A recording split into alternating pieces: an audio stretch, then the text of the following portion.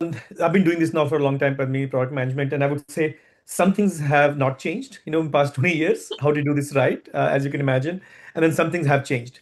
Uh, I think some of that is changing with GenAI. Now my product managers have a lot more firepower in their hands. Uh, they'll even throw in the current mock-ups in the product, and they would ask the LLM to come up with, you know, what I should build uh, in this feature for solving this pain point. So I think uh, GenAI is helping expedite that. I think product management or building product as a discipline more broadly is actually evolving, which essentially think of this as like an agent which is always on on your screen. And when you come into work, you know, you it shows you what you can do.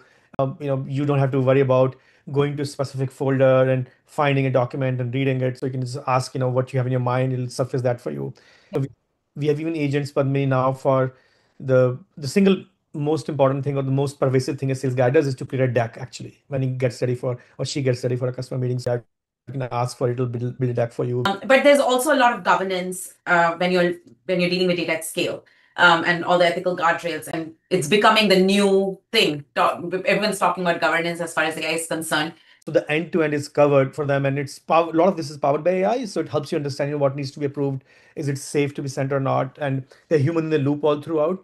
Um, compliance is not an afterthought. It was never an afterthought, but with AI, it's even not even more not an afterthought. It has to be very carefully built in the platform. And you know where you can rely on AI, where you cannot rely on AI. So our customers surely being a trusted partner there, they look up to us to help them, you know, um, not coach on those workflows, but to share with them those workflows and best practices. And I think, but the secret sauce is the human piece there. So if you know people in leadership actually see them as partner and truly want to collaborate, and they put in effort and hours, uh, then you know people who work with you in the teams, it rubs onto them, and they want to do that too, right? But I feel that you know your sales, your marketing, your customer success, you know those are like your eyes and ears into the world. So it's very important for an R&D organization to actually make an explicit effort to continuously, continuously is the yeah. real word.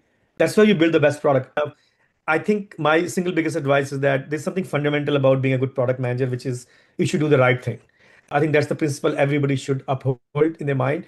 So I think it's very important for a product manager to do the right thing always, but has the fundamental thing about what makes you a good product manager change. It's about building product that customers love, and it's about building products that your enterprise are st- your enterprise is strategically aligned to building, right?